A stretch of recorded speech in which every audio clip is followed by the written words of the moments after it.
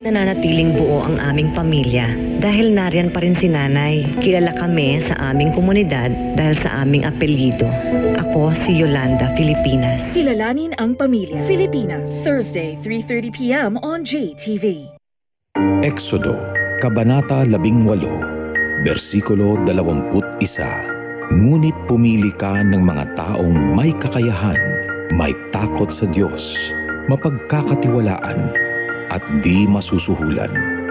Gawin mo silang tagapangasiwa sa libo-libo, daan-daan, lima-limampu, at sampu-sampu.